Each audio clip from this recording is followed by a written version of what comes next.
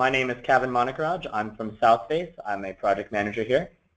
And I'm Abby Francisco. I'm also with Southface and a project engineer here. Um, and thank you all for joining us here today for to learn a little bit more about the Small Commercial Energy and Water Efficiency Assessment Toolkit created by Southface. We're excited to have you guys test out this toolkit in the field and get your feedback on it. To give you a little bit of background on who Southface actually is, we are a nonprofit located in Atlanta, Georgia, and we work to make homes, communities, and workplaces more sustainable through our four pillars, which are education, research, advocacy, and technical assistance. So we made this toolkit under one of our research grants, and this grant is called the Advanced Commercial Buildings Initiative. It's a three-year, $4 million grant awarded by the DOE, and we are in the last year of the grant right now. The focus of it is energy and water efficiency in small commercial buildings, and so that includes existing and new buildings. So for existing buildings, we're aiming at getting a 20% improvement in efficiency, and for new buildings, it's meeting the 50% energy efficiency improvement with the Architecture 2030 Challenge. And that's equivalent to essentially a 25% improvement over ASHRAE 90.1 2007. So diving into the structure of the grant, there, are, there was a research phase, a demonstration phase, and then a deployment phase. With the research phase, we did things such as circuit level monitoring of buildings, um, diagnostic testing, blower door testing uh, at sample buildings, as, and then we moved on to the demonstration and deployment phase, which is where we are now and how this toolkit was made with the, the goal of deploying it into the market. We also are going to be developing several, several other toolkits as uh, a result of this grant including something called the Campus Guide, which focuses on how to make campuses more energy and water efficient.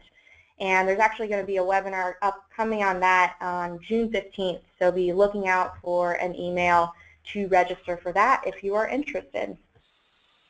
And now I'll pass it on to Kevin to talk more specifically about how this toolkit can help you. Great. So that's the question. How can the toolkit help you? Well, first of all, we want to support you in making your level one and level two ASHRAE audits. So that's the main reason why we have this toolkit. Secondly, we want to give you the ability to prioritize your efficiency measures. And then finally, we want you to be able to pinpoint sources of your energy and water spikes. We've all had them. We've all seen them in our buildings. Hopefully this toolkit will help you figure out where they are and maybe make some recommendations moving forward. So let's back up a little bit and say, why do we even care about small commercial buildings? Well, if you look over on these uh, two charts here, we can see that the percent of total commercial buildings, 94% of those are less than 50,000 square feet. If you look at the total commercial floor space of these buildings, it's still just about half of it. So we're, we're talking about the majority of your small commercial buildings taking about half of the total commercial floor space. That's a lot of area and it's a lot of energy being used. Speaking about the energy, if we look at the major fuel consumption, it mirrors that of the floor space for your small commercial buildings. So again, we have a very large market for energy here, and all of it needs to be addressed. So let's start off with a very simple trivia question. Um, in a minute here, you'll get a poll about which one of these buildings uses the most energy. Is it education buildings, your schools? Is it food service buildings like your restaurants, lodging, warehouse or storage, or even your religious or worship buildings? I'll give everyone a minute.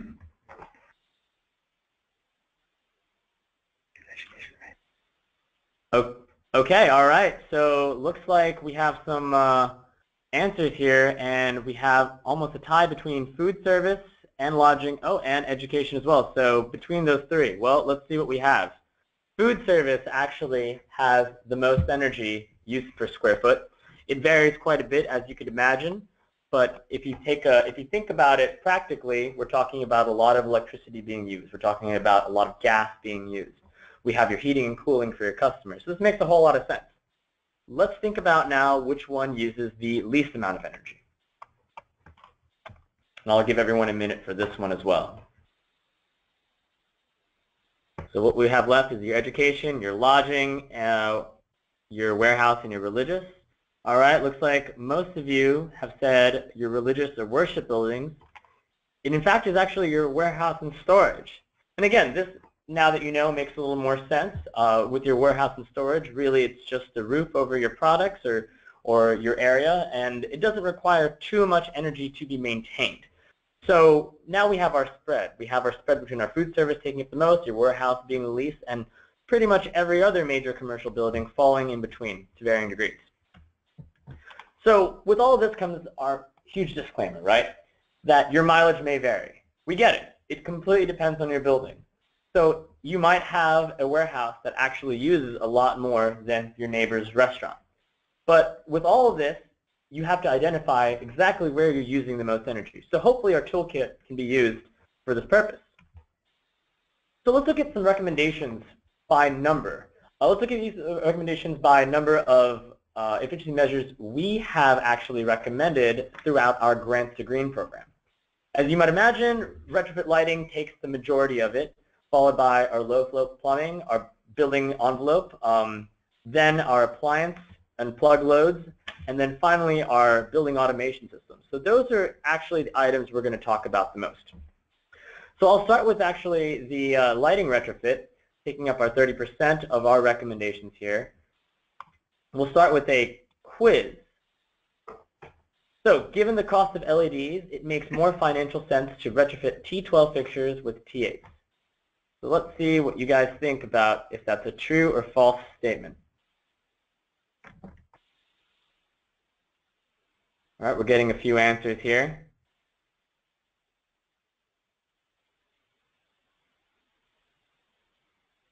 All right, so it looks like we think that that might be false. And that's exactly correct. With the cost of LEDs today and how quickly they're dropping, it actually does make a lot of sense to retrofit your T12s and your T8s to your LEDs. It's also important to note that if you are retrofitting your T12 to T8, you will get a payback. But with the functionality and the practicality of LEDs, you gain more control over your lighting. You get uh, better space density for your lighting. So overall, your LEDs actually have a better payback. This sort of propels us into our next quiz here in terms of retrofitting on a one-to-one -one scale. When you take down your existing lights and you're putting new ones up, if you're taking LEDs as your retrofits, do you have to make them one for one? All right, looks like everyone agrees on false, and that's exactly correct. Uh, as you might know, you have higher lumens for your LEDs for an equivalent version of your fluorescents, which means you can actually maybe skip every other light, skip every third light. With good building design, you can actually skip a whole lot and save both on money and electricity. So let's move on to our low-flow plumbing fixtures. All right, another trivia question. Which of these cities has the highest combined water, sewer, and stormwater costs? Is it Seattle, is it Atlanta, Charlotte, or Salt Lake City? Looking like we have people from all over the country here.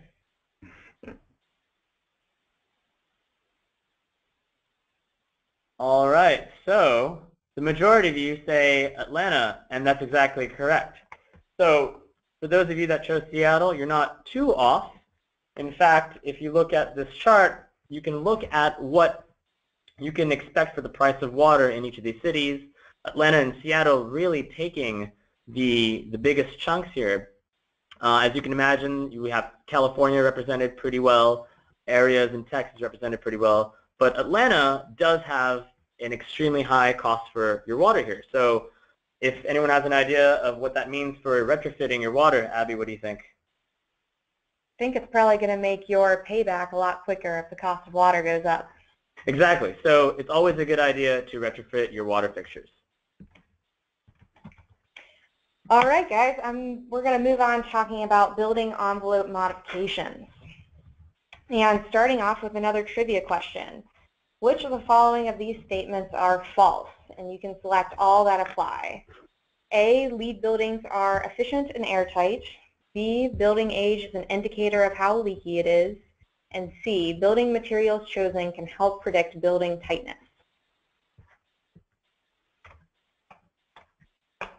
Give you guys a little bit more time for this question.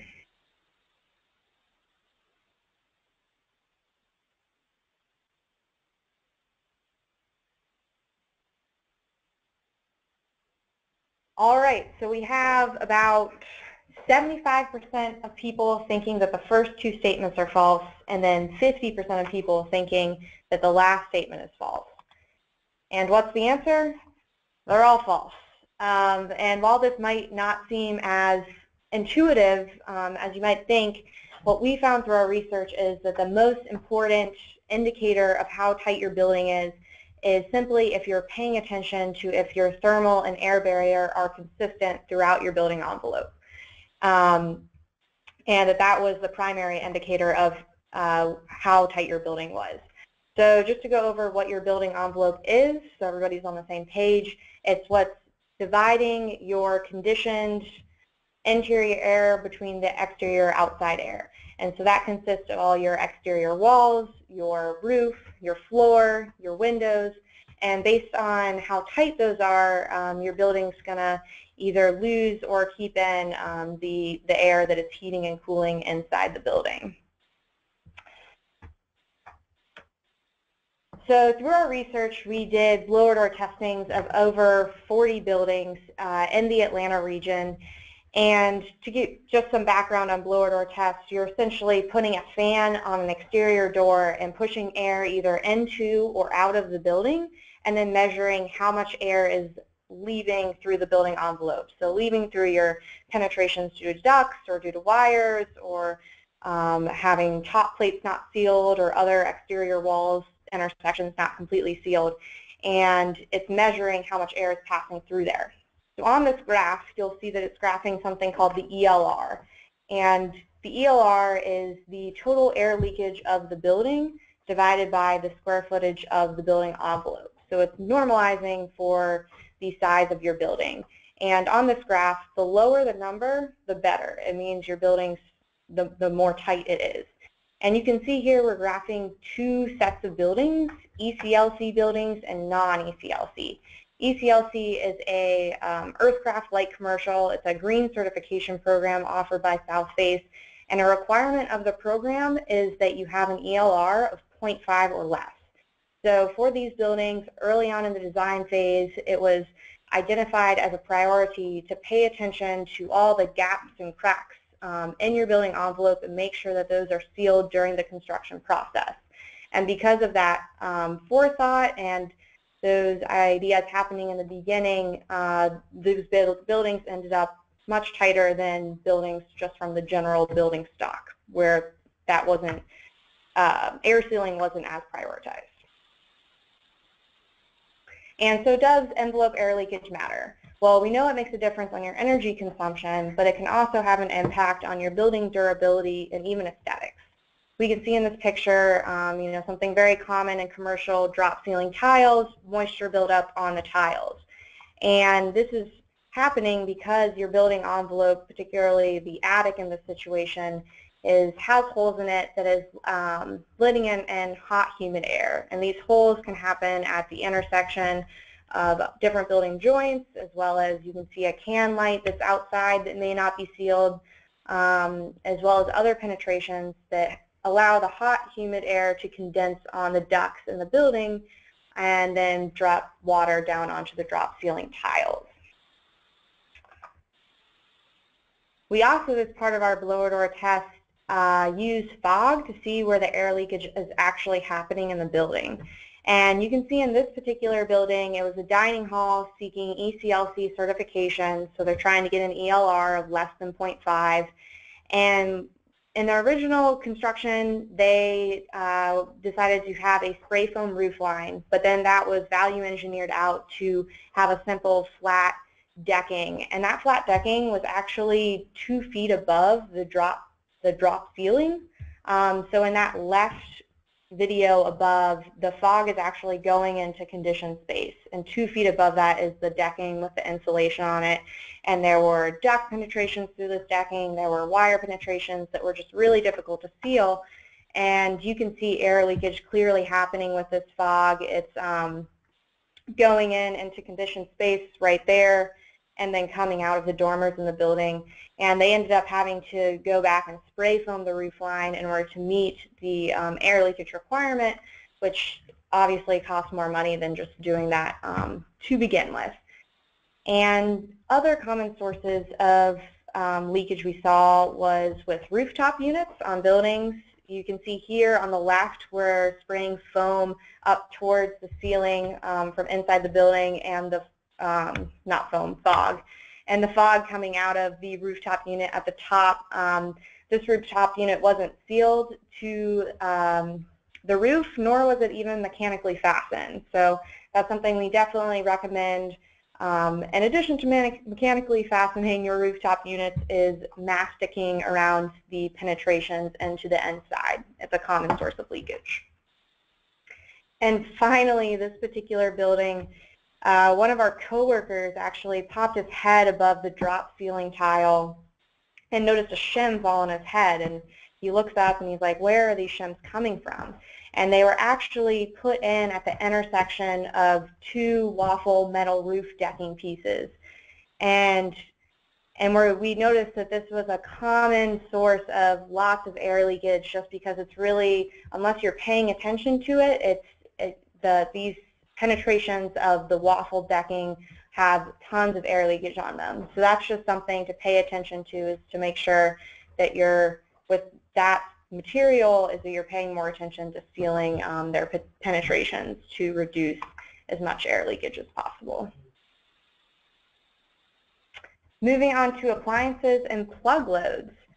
Um, one of the really exciting things we were able to do through the research was circuit level monitoring of um, 12 commercial buildings.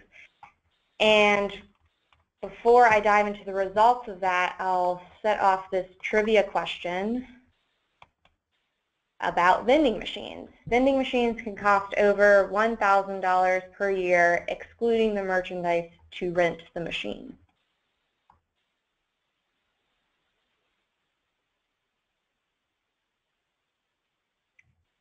All right, most of you guys, actually all you guys have answered this correctly. It is A, true, vending machines can cost over $1,000 per year, and we saw this through our circuit level monitoring. One of our sites was spending $20,000 per year for um, utility costs, and one of their circuits, we didn't know what it led to, was eating up 5% of their energy use, which was fairly substantial for an outlet.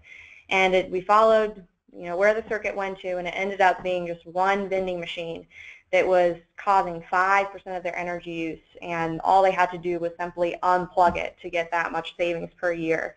Um, and so vending machines can vary, their energies can vary drastically. This was a particularly old and inefficient one, but what we, what we like to say at Southface is the most efficient is off. And if you need to have a vending machine there, uh, we recommend installing VendingMisers, which can minimize your compressor runtime with to only when it's uh, needed during occupied hours, as well as just removing the lights in all your vending machines. It's not really necessary. But really, you'd be better off financially to just, um, you could go and buy uh, a certain carbonated beverage, maybe with a red and white logo for your employees, and uh, and for free, and, and that would end up, it'd be given for free to them and you'd spend less money in the end. And lastly, we're going to go over building automation system modifications, and we're going to end with this trivia question for this section. For typical HVAC systems, setbacks offer negligible savings.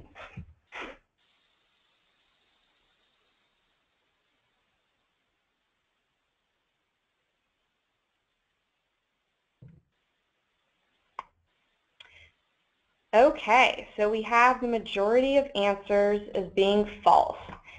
And just to go over, and that's correct. And to go over what a setback is, setbacks happen, um, you're lessening the aggressiveness of your thermostat when the building is unoccupied. So for a typical building that's not occupied at night in the winter, you might adjust your setback from around, or uh, adjust your set point from around 70 degrees to getting down to 60 degrees to save energy at night. And a lot of times when we go into buildings, we have people asking us, is it really worth it to do this? Our, our uh, mechanical systems are ramping up in the morning, and is, it, is that using up more energy in the end? And for typical HVAC systems, it is worth it to put setbacks on your thermostat.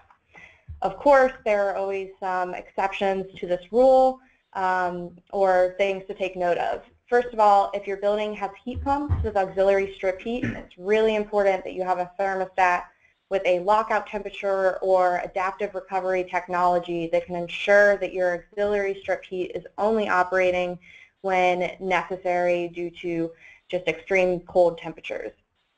Otherwise, it should only be the heat pump heating your building. As well as um, another exception may be if you have a high efficiency VRF system that's inverter driven um, where the savings due to setbacks uh, can be closer to negligible. I would now like to talk about the toolkit itself. The file set is located under the Supporting Documents sidebar of the Small Commercial Energy and Water Assessment Toolkit webpage. To get to this webpage, go to the Advanced Commercial Building Initiative section of the southface.org website by pulling down the Programs tab. Once on this page, the link to the toolkit is located on the Measuring section page, or you can search for the toolkit itself and the results will, will reveal a clickable link. The content on the Small Commercial Energy and Water Assessment Toolkit webpage outlines all of the following pieces to the toolkit, including procedures for energy and water assessments, a Word document that provides detailed guidance for each step of the assessment process, the Energy and Water Assessment Workbook, an Excel sheet that we'll demonstrate in a few moments, the Energy and Water Assessment Report Template, a Word template that provides content, structure, and formatting guidance for a client assessment report, a presentation template example, a sample slide deck for presenting assessment findings to the client, and lastly, the Energy and Water Efficiency Project Implementation Verification Checklist. These are the main toolkit documents, but in addition, we have included a Portfolio Manager guide in case you are unfamiliar with Energy Star Portfolio Manager. We also have a Georgia Power commercial rate calculator if you are a Georgia Power commercial consumer, and our own HVAC calculator, which you can use in conjunction with the toolkit. So let's jump into the toolkit itself. Abby will pull it up and run you through how to use Energy Star Portfolio Manager. All right, when you open up the toolkit, you'll see it starts with an instructions page. I would highly recommend going through this page uh, before using the toolkit. Uh, we won't be going over it today, though. We'll jump right into inputting utility data from Energy Star Portfolio Manager, which is the first step from using this. And like Kevin said, if you don't aren't familiar with Portfolio Manager, we have a guide for how to use it in the toolkit.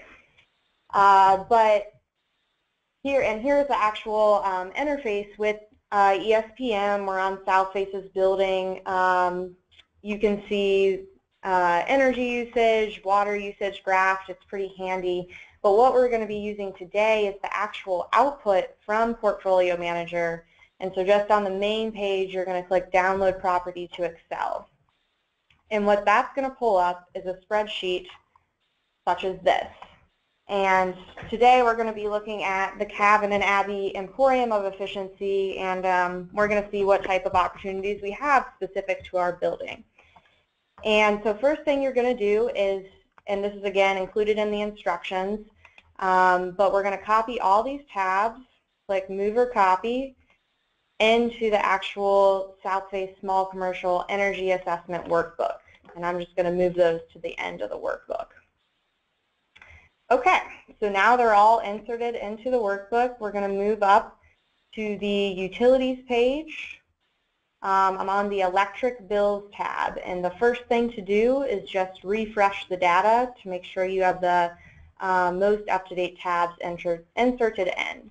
And you can see this is all, this is straight from the ESPM download. It will take your electric, electric bills, gas bills, and water bills and graph them into the individual tabs.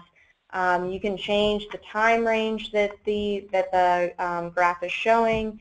And it's important to note that these numbers, if you notice these numbers don't match up with your utilities bills, it's because it's actually um, per ASHRAE guidelines dispersed across the 30 days for each month. So if you have a bill from January 15th to February 15th, it's splitting up um, the bill so that it fits for the actual days in each month.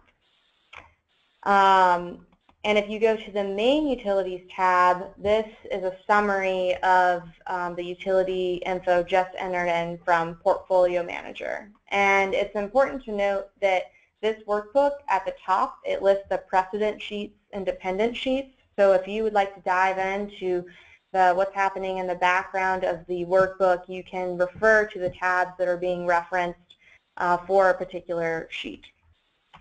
And first on this page is the actual cost structure, which you can enter in yourself by just getting um, your the rates how you like to calculate them, or with our toolkit, if you use Georgia Power, we do have a Georgia Power rate calculator.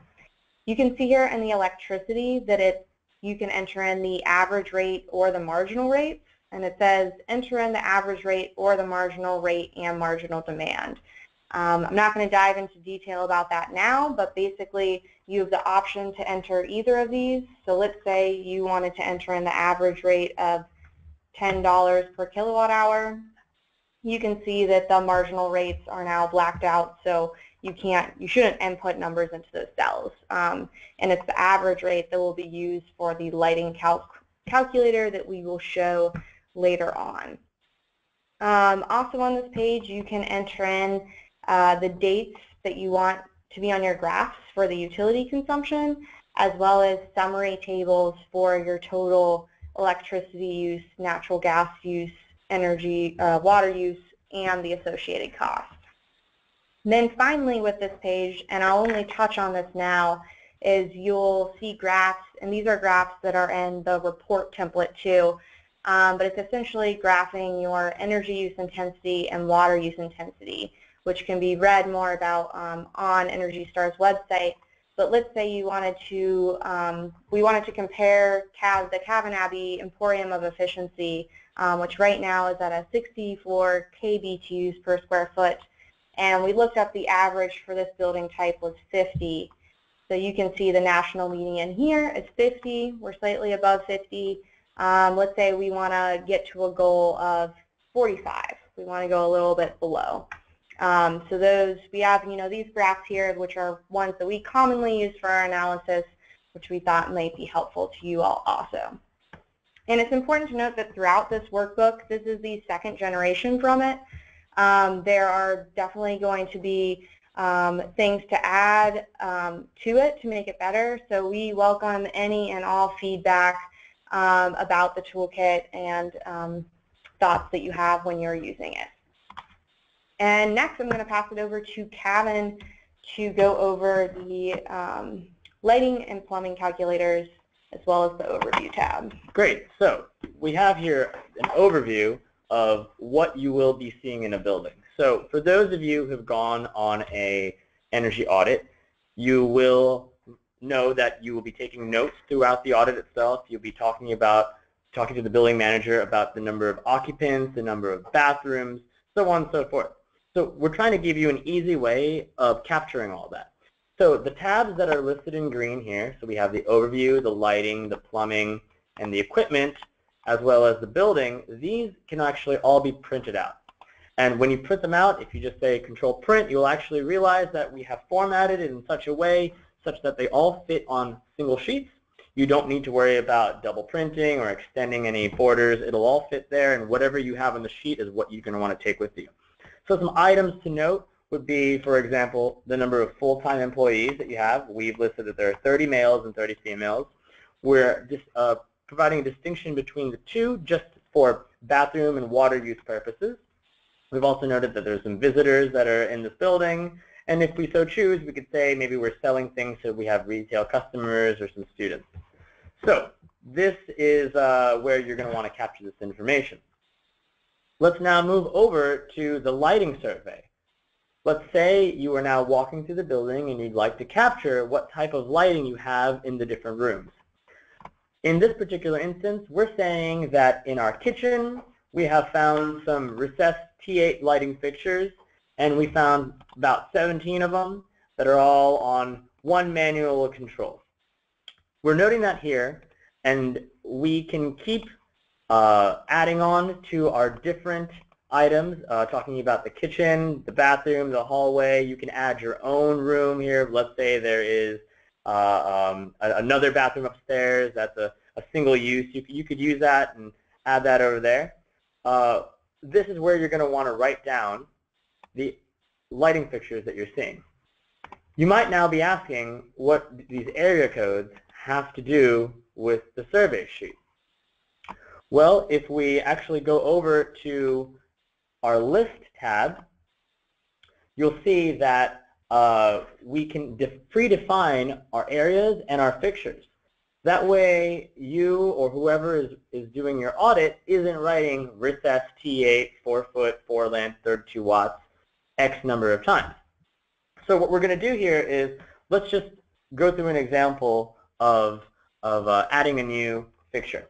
So let's say we want to add an area, that's the exterior, so we'll write exterior in area code number 6. So now it's logged to the 6th area code. Then we're going to add, let's say, a metal halide 150 watt wall pack in fixture code number 5. We'll now have a few drop-down options, one of which will be metal halide lighting, great. And the first thing you'll notice is a couple of the columns will start blanking out. We've done this as an automatic feature. If a specific lighting type has the ability to be defined by lamp length or lamp ballast or lamp wattage, those will be accessible, and if it's not, they'll get automatically uh, blacked out. So we'll give a lamp wattage here of, uh, we're doing 150. So we now um, have our fixture watts that is automatically populated as 190. That's sort of what we real, what we've found out is the real-time wattage of the fixture itself. And the reference for the actual fixture wattage is, um, our reference is through the Georgia Power um, handbook, which uh, references, you know, fixture wattages based off of standard electronic ballast.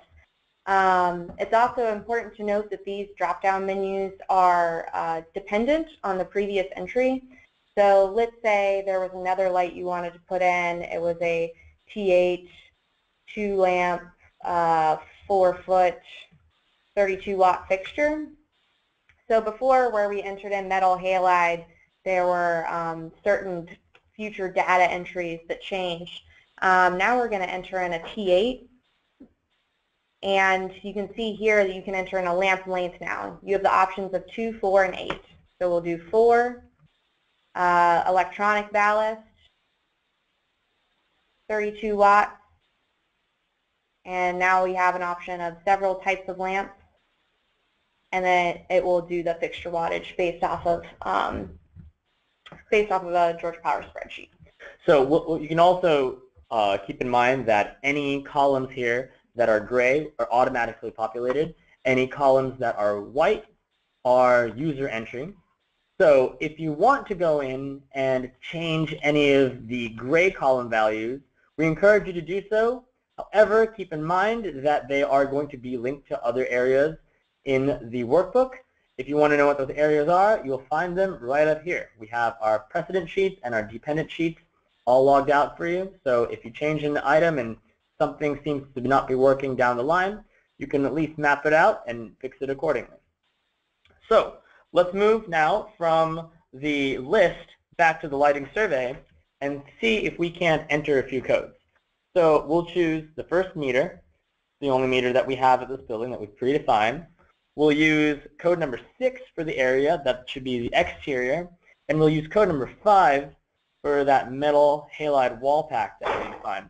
Let's put about 10 of them out there. Um, we have a usage factor. We're going to leave that blank in this instance just to say that we are, it has a 100% usage factor. If we wanted to define anything less than 100%, we could define them as you see 75 and 90 or anything else in between. and you would you would use the usage factor. For example, if you walk into a room and half or you know 75% of the light fixtures are on, 25% are burnt out or are never used, so that you can capture. This allows you to capture how many fixtures are in the building, but also account for the variances in energy use for light fixtures that are never never used and whatnot. And that will be more apparent um, in the results tab, which we'll explain in the future, where we're estimating the actual existing energy usage of a building. So now we have our lighting defined. We now need to start thinking about how often it's used and where it is used. So if you scroll over, uh, actually, if we scroll over just a little bit to the right, we'll see that we now want to start defining our location and the associated schedule. So what we'll now do is we'll go we'll say there's an exterior location, and we can go to the schedule tab down here, and we can define an exterior schedule. So we've, what we've done is we've pre-populated some times here, and you can change the times according to your building use, but we're saying from Monday through pretty much the rest of the week, we're operate, these exterior lights are operating from 9 p.m. to 7 a.m. without fail. So we automatically calculate the number of annual hours that are being used as well as the number of hours per week. So if we go back to our lighting survey analysis, in this drop-down now, we will have seen a newly listed exterior option. And that wouldn't exist until we actually define it in the schedule itself. Great. So now that we've uh, listed that uh, exterior schedule, we can go to the results page and we'll scroll over to the results. It's the only purple tab on this toolkit. And here we'll actually see that our interior and exterior lights are populated for us. So this toolkit now calculates an estimate of what you would expect to see for your exterior and interior electricity usage. So you would imagine as we add more lights or take some off or modify them, we will have the ability to change this um, usage to match what our bills actually show. So the, the three that are going to be calculated for you in this toolkit are the interior lighting, the exterior lighting, and the water heating. The other elements that we have here are your heating, cooling, interior equipment, exterior equipment, fans, pumps, refrigeration, um, and plumbing uh, all the white uh, all the white cells are going to be manually input and all the darker cells are going to be automatically calculated. In fact, actually, one more thing I'd like to add, if we go back to our list,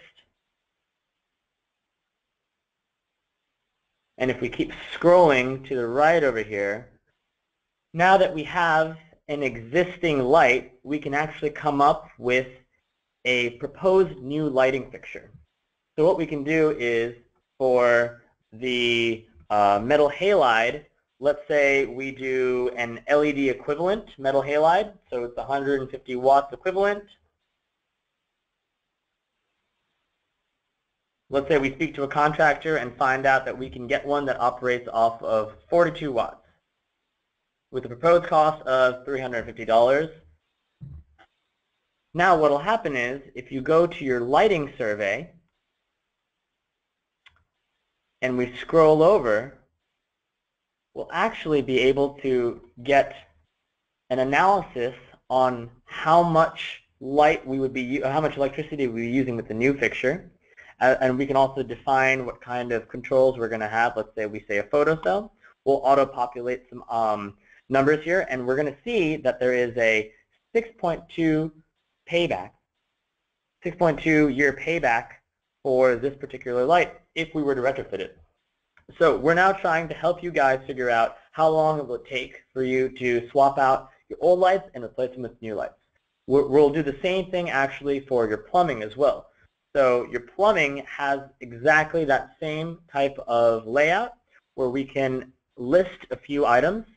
Um, eh, let's say we wanted to say the bathroom, which is area 2. We're going to say we have a toilet that we wanted to list out. Let's say there's five of them, and they flush at three gallons per flush. We're also going to say that it's a manual flush, um, and that there is a flush valve in this instance. The same items are here in terms of auto population. And if we move over to the right, we'll be able to come up with a proposed fixture. So we're going to say it's a toilet. Again, this will be dependent on what you list as your existing fixture. So if you list the sink, a sink retrofit will pop up. If you list the toilet, a toilet retrofit will pop up. We're going to go for 1.28 gallons per flush toilet. And as we scroll over, we'll be able to see a payback. We actually don't have a payback in this instance because we didn't define what the price of our water is um, in the utility section. So we'll go back to the utility section to list that we have 2 cents per gallon. So now, if we go back to our plumbing, we'll see that we've gained uh, a payback of 2.8 years. So not too bad for this existing fixture, given the price that we are paying for all of our utilities. And I think uh, let's move on to our equipment. All right, moving on to our last few um, green tabs. Uh, this is the equipment survey. So again, this sheet is printable and and so I'll just go to the print screen right here and you can see that this is what's actually going to be printed when you go to your site. And here I have a couple example entries listed. Again, you can use the area codes or you can write in your area name depending on how you prefer. And then simply here it's just the equipment name with the quantity. You can assign tags such as refrigerator 1, refrigerator 2. And the idea here is that you're taking pictures of the model number information of the equipment while you're on site and then you're entering in that model number information when you get back. Uh, there are a couple of keywords entered here at the top for things to look for um, or things that we like to look for with our equipment, including combustion safety, outdoor air, condensate overflow, filters, set points, timers. Um, so you can change that to make it whatever you want to look for in particular at your site. So on these blue headers right here is information you'll actually enter in after you return uh, to your computer and are looking at your pictures of the model numbers. And you can see here there are several inputs, the manufacturer, the model number, the serial number, the manufacturing date, and lastly, the most important is the equipment category. Again, it's the gray cells that are not for user entry unless specified. Um, these, the gray cells have the formulas. The white cells are for user entry.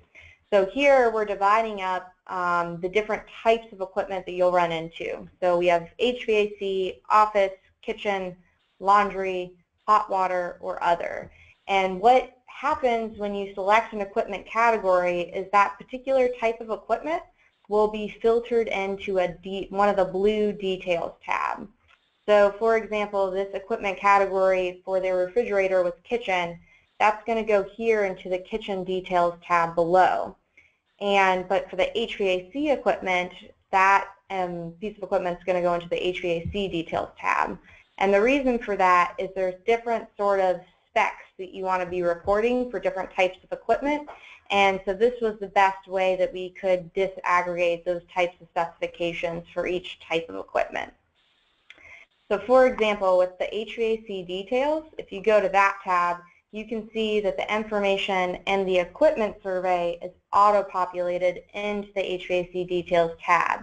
As noted by these cells are gray, they have formulas in them. They're pulling information by the equipment survey tab as noted by the precedent sheets equipment survey in cell A1. So moving on into other um, specifications you can enter, uh, there are multiple different um, things that you can enter in for HVAC equipment. The first categories right here, um, noted by existing system, these values are inputs for the HVAC calculator. That calculator is included in the toolkit and is a, a, a relatively simple way of estimating your heating and cooling energy use. So these inputs listed right here are used for that calculator. There are other inputs further on in the workbook which you may want to collect, you may not, just depending on your analysis, um, you can fill it in as needed. The same thing goes for domestic hot water details, Um, there are domestic hot water inputs. And then kitchen details and laundry details are a little bit more general in that it's just asking for your existing energy or water use and then your proposed energy and water use. So I know this might be a lot right now and it's really going to take getting into the Excel workbook and playing around to get a feel for how it all um, connects together and, and where how you'll best be using it. Um, but where everything comes together in the end is the results tab. As Kevin went over, we have end-use graphs right here, which are updated based on um, the entries from the lighting analysis tab and the plumbing tab. Those are the two pre-built-in kind of surveys that we do. Um, you'll have to manually enter, excuse me, enter in the um, other end uses uh, listed in white that are not highlighted.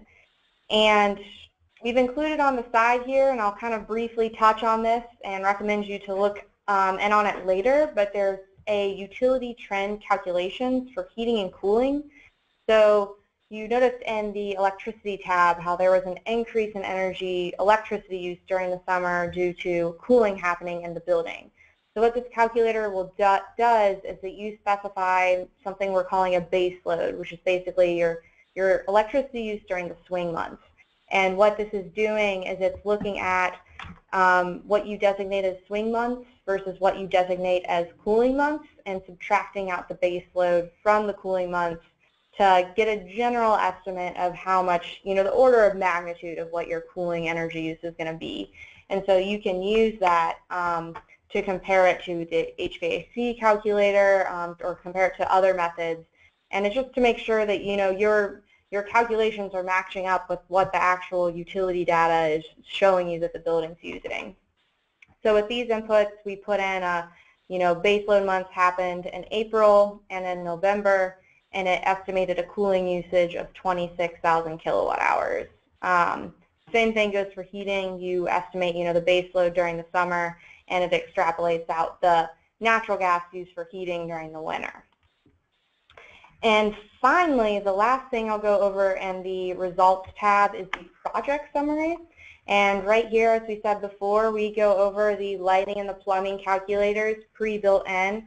Um, we have our annual cost savings associated with those, and that's just pulling from those tabs um, based on the inputs that were entered, as well as the budgetary cost, payback, and then different energy and water, water savings.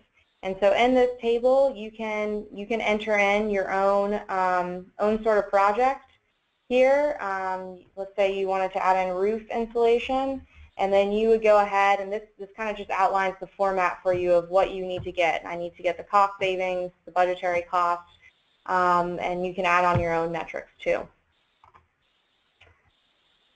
All right, and that's that's an overview of the toolkit.